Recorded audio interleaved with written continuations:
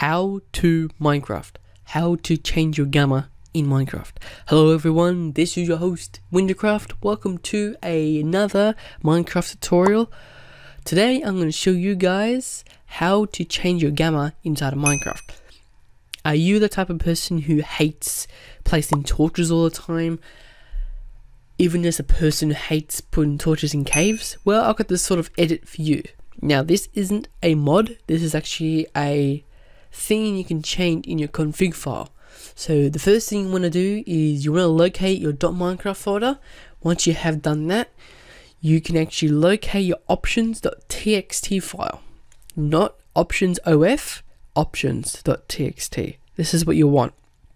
You want to open that up and you will have a lot of mumbo jumbo in here. You just want to ignore all this. What you want to look for is this where it says gamma dot dot.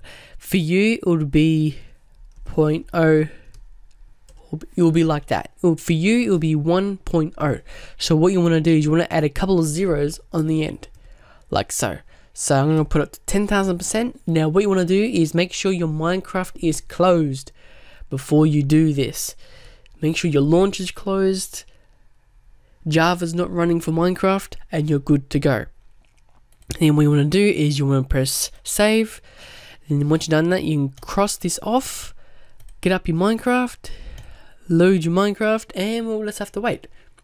So this is really good for people who hate placing torches, and it's always bright all the time. Yeah, so we just make this full screen. Here we'll go to single player. We'll create a brand new world. Call a, a blah blah blah blah. blah world, doesn't really matter, go to creative. Then if we go in, you'll see the difference. Downloading terrain. As you can see, it's a little bit of a difference already.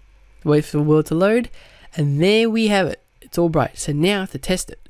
So if we go time set zero. right, if we go times There we go. Now it's actually it's actually nighttime, but for us it's like we're having night vision, but there's no effects, which is pretty awesome. But now there's one more thing I should remind you. If you go to your options, go to your video settings, do not change the brightness. If you do, it will screw this up and you have to redo it all over again.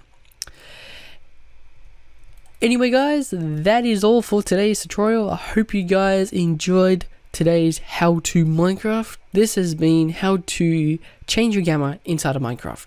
Anyway guys, feel free to smash that like button. Our goal is 10 likes. We can do it. Feel free to subscribe for more videos like this and I'll see you guys next time. See you chicken. Bye.